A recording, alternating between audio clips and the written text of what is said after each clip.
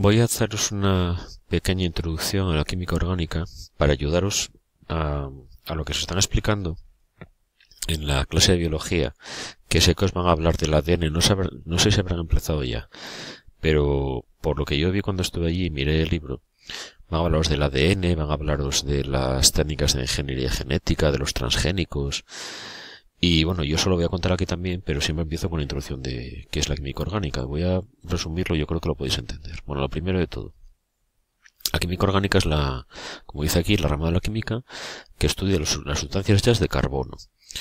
Vosotros ya sabéis un poquitín de química y os dijeron lo que es una fórmula química, cómo se unen los elementos entre sí mediante los tipos de enlace.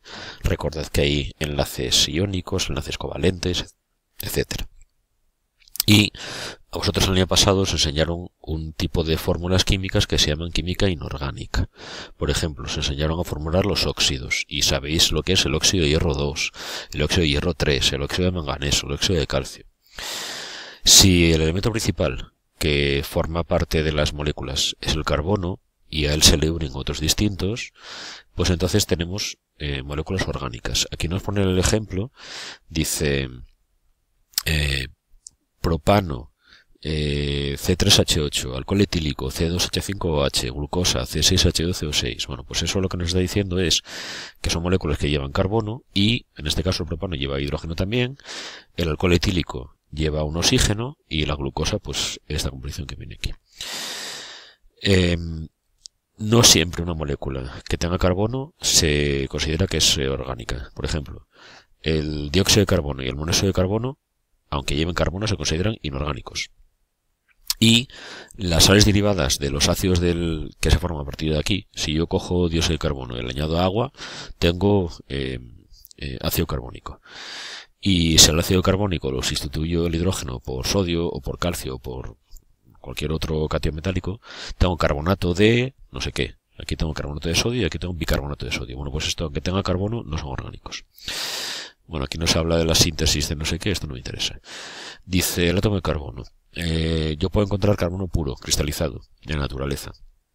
Y dependiendo, cristalizado quiere decir que es, que es una forma sólida. Y que los átomos de carbono están unidos eh, mediante enlaces entre sí, que son covalentes. Covalente recuerda que quiere decir que los eh, átomos comparten electrones. Y dependiendo de la disposición espacial de los átomos que forman eh, el sólido que yo estoy observando, puedo tener o grafito o diamante, que son las dos maneras en que puedo encontrar carbono sólido, puro, cristalizado en la naturaleza. Eh, ¿Qué diferencia entre ellos? Pues el grafito, eh, los átomos de carbono forman en el espacio, dibujan prismas rectos de base hexagonal. Mientras que en el caso del diamante, eh, los átomos de carbono están colocados formando cubos. Esa es la diferencia. Pero esa diferencia, que aparentemente puede parecer no tiene mucha importancia, si la tiene, porque no es lo mismo el grafito que el diamante en cuanto a sus propiedades físicas, químicas, etcétera. Vale, aquí nos habla del carbono amorfo, que sería el carbón, por ejemplo, ¿vale? No me interesa. Carbón artificial, vale. Vamos a esto. Propiedades químicas del carbono. Eh, los átomos de carbono se pueden unir entre sí en enlaces covalentes y pueden formar cadenas de átomos de carbono. Aquí ya tenemos una indicación de lo que me interesa a mí recalcar. Esto es una molécula. De manera que yo puedo unir un carbono a otro. ¿Mm? Eh, el átomo de carbono tiene cuatro electrones de valencia, como dice aquí, es tetravalente. Y eso quiere decir que se puede unir cada átomo de, cada átomo de carbono a cuatro elementos distintos. Podemos tener un carbono unido a otro, y aquí tendríamos otro carbono más, y otro carbono más, y otro carbono más, y puedo unir, enlazar carbonos uno detrás de otro, los que me dé la gana a mí, eh, sin límite ninguno. Otra propiedad que tiene el carbono importante es que puede formar cadenas lineales, que yo lo comenté antes. Entonces aquí vemos, por ejemplo, que tenemos dos, cinco átomos de carbono unidos entre sí, y puedo tener un montón de ellos distintos. Em, esta raya de aquí es el enlace, enlaces covalentes. Una raya significa dos electrones, uno de este átomo y otro de este otro, que son compartidos entre sí. Los enlaces carbono-carbono pueden ser de tres tipos. Esto que viene aquí hace referencia a eso. Vamos a olvidarnos de esos dibujos que tampoco a vosotros no tiene importancia. Eh, si yo aquí en lugar de una raya pinto dos, es lo que es un enlace doble. Y si pinto 3, es un enlace triple. Entonces yo puedo tener átomos de carbono unidos por enlaces simples, dobles y triples. Y cada átomo de carbono se lo pueden pegar cuatro cosas. Este, por ejemplo, aquí, aquí y aquí se le pegarían otros tres átomos de otro elemento diferente. Vamos a fijarnos en esta molécula de aquí. Aquí lo tenemos, son cuatro carbonos eh, unidos entre sí y cada uno de ellos tiene unidos hidrógenos hasta completar cuatro valencias. Entonces, este de aquí, que está en el extremo de, una, de la cadena, o este que es equivalente, está unido a un carbono y a tres hidrógenos, porque, y así completa cuatro valencias distintas. Este carbono que es intermedio está unido a un carbono, a otro y a dos hidrógenos. Y lo mismo pasa con este.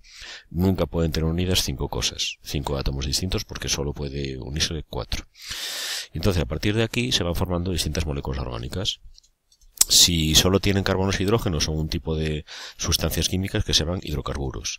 Si aparecen átomos de otras eh, de otros elementos diferentes, como de oxígeno, pues eh, van apareciendo diferentes tipos de moléculas orgánicas. Entonces, mirad, por ejemplo, aquí tenemos esto de aquí se llama aldehído, esto de aquí se llama acetona. ¿Por qué? Porque tenemos una combinación de átomos que es carbono unido por a oxígeno con el enlace y está en el extremo de la molécula. Esto es un grupo funcional es una asociación de átomos que se llama así grupo funcional que hace que esta molécula se llame aldehído y esto se llama acetona. Y así aparecen alcoholes, aparecen ácidos orgánicos, aparecen distintos tipos de moléculas. Esto no son biomoléculas, son moléculas orgánicas, pero que no forman parte de los seres vivos. Sin embargo, son la base para entender qué es una biomolécula, como por ejemplo el ADN. Más o menos con esto yo creo que os podéis apañar para después, cuando os haga una grabación de un vídeo explicándoos qué es el ADN y la estructura que tiene, basándome en lo que sé que dice el libro de francés que tenéis, podéis entenderlo mejor. Eh, no es muy complicado, simplemente es, bueno, pues que entendáis que estos son moléculas, que las rayas son enlaces, que los enlaces son de tipo covalente y que lo que estamos viendo que es una fórmula de una sustancia química. Vamos a solo una cosa más. Yo puedo representar la misma molécula de varias maneras distintas. Esto es lo que se llama la fórmula desarrollada, que aparecen todos los átomos y con todos los enlaces desplegados para que veamos cómo están colocados los elementos químicos en, la molécula. Si yo no quiero tanto detalle, pongo lo que se llama la fórmula semidesarrollada, que simplemente me dice pues que hay un carbono con tres hidrógenos, eso es CH3, CH2, CH2, CH2, CH2, CH3. Esto y esto es lo mismo. Simplemente es una manera de representarlo más con más exactitud o con menos. Si condenso, quiere decir que quito los enlaces. Entonces tengo CH3, CH2, CH2, aquí faltarían las rayas que unen los carbonos. O digo CH3, CH2 dos veces, CH3. Aquí tengo 1, 2, 3, 4 veces el CH2 de aquí. La fórmula molecular o global, o empírica, lo que me dice solo es cuántos átomos hay de cada cosa, C6H14, pero no me dice cómo están colocados los átomos. Entonces es muy importante, esto me da información, esto me da más, esto me lo da todo. Y las moléculas orgánicas que forman los seres vivos, las biomoléculas, normalmente las representamos con fórmulas desarrolladas como esta porque es importante saber dónde están los, átomos colocados. Bueno, con esto mm, de química orgánica creo que tenéis suficiente de momento. Vamos a dejarlo aquí y os grabo un vídeo en cuanto pueda sobre el ADN. Venga, ánimo.